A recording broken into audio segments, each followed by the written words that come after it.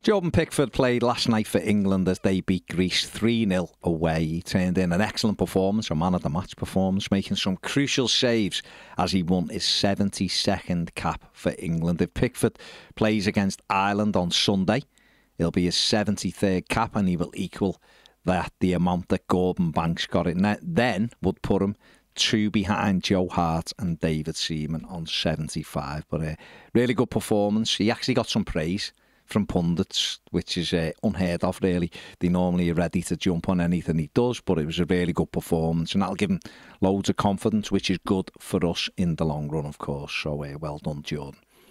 Iliman Ndiaye and Idrissa Gana Gueye played as Senegal beat Burkina Faso 1 0. Uh, elsewhere, Orel Mangala was an unused substitute as Belgium were beaten 1 0 at home by Italy and Jake O'Brien was an unused substitute as Ireland beat Finland 1 0.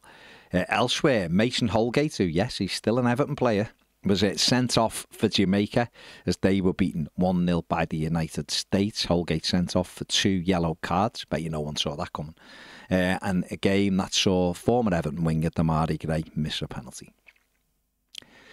Beto once again has been linked with a move away from Everton today. Uh, once this time it's Roma rather, who were uh, very interested in taking him apparently in January on loan. Beto yet to start a Premier League game for the Toffees this season. His uh, one report says he's desperate to get back to Italy. He wants to return. Don't know whether there's anything in that, but that's what they're saying.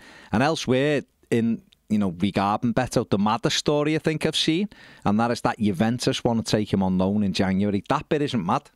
That bit isn't mad. He's been linked with Juventus before.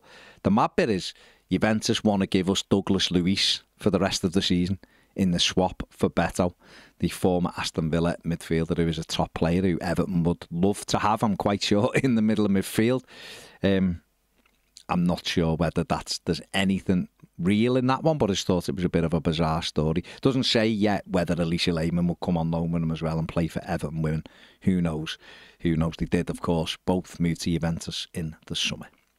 And finally, Everton and Besiktas are apparently leading the race for Milan winger Samuel Chukwueze. The 25-year-old has made 11 appearances for Milan this season and scored one goal. Everton have been linked with Chukwueze on a number of occasions already.